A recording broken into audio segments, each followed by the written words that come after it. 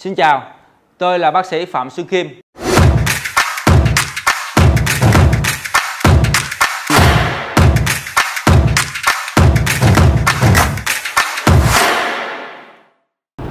Xin chào các bạn, hôm nay tôi dành thời gian để nói cách khắc phục đầu vú bị tuột. Như vậy, trong cái việc đầu vú bị tuột chúng ta chỉ làm 4 mức độ. Mức độ số 1 là đầu vú vẫn nhô lên khỏi bề mặt của quần vú nhưng mà nó trũng ở chính giữa. Mức độ này không cần phải điều chỉnh gì cả. Mức độ thứ hai là đầu vú hình tròn nhưng mà phân nửa thì nó nhô lên hẳn, một phân nửa thì nó thấp xuống như thế này. Thì trong trường hợp này có thể chúng ta sẽ dùng cái phương án phải dùng và nên dùng cái phương án bỏ cái phần thấp xuống đi và chúng ta giữ là cái phần nhô cao thôi tức là chúng ta làm cái đoạn làm cái phương pháp gọi là thu nhỏ đầu ngực đó cái mức độ thứ ba mức độ này là cần các bạn quan tâm nè. Tức là đầu vú bình thường, nó tụt xuống dưới hẳn bề mặt của bầu ngực, tức là nó dưới cái bề mặt của quần vú. Thay vì nó nhô lên như vậy, thì bây giờ nó tụt xuống như thế này. Trong trường hợp mức độ 3 thì nó có những tình huống như sau. Một là tình huống các bạn đụng dập, các bạn đụng chạm vô, thì cái đầu ngực nó lại được nhô lên trở lại thì trong trường hợp đó, cái cách xử lý là chúng ta chờ chờ cho các bạn qua cái giai đoạn mang thai, qua cái đoạn giai đoạn cho con bú xem coi là đầu ngực nó có đi lên hẳn hay không. Nhưng trong lúc chờ đợi đó, thì các bạn lưu ý một điều rằng, cái đầu vú bị tuột vào phía bên trong bầu ngực, nó có tiết ra những cái dịch gì khác không?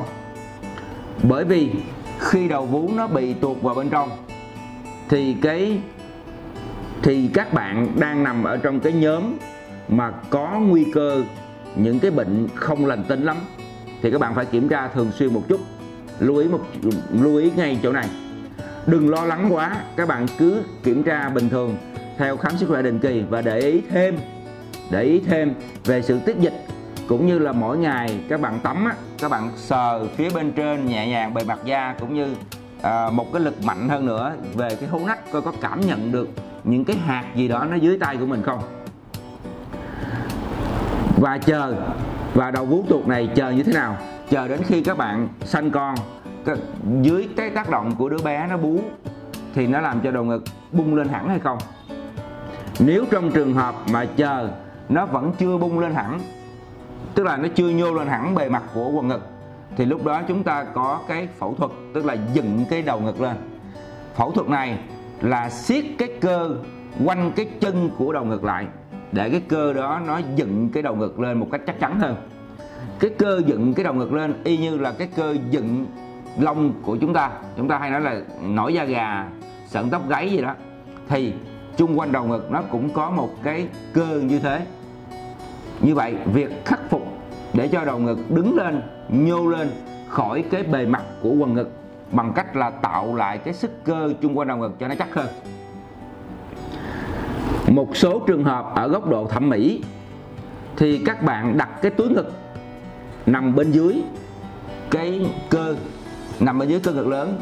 Nó cũng là một cái tác động để làm cho đầu ngực bung lên. Ở đây tôi gặp một số các bạn nữ khi đặt à, khi đến À, đặt túi ngực, đặt túi nâng ngực, thì cũng đặt vấn đề là làm luôn cái à, cái cái khắc phục đầu ngực luôn. Thì tôi khuyên các bạn là hãy bình tĩnh, bởi vì khi có một cái lực đệm ở bên dưới bầu ngực, thì đầu ngực cũng đã được nhô lên.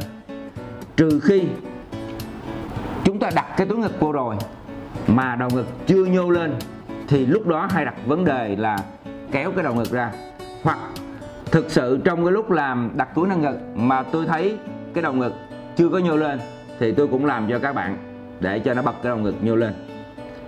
Thì đây là những cái trường hợp đầu vú tuột và cái cách xử lý.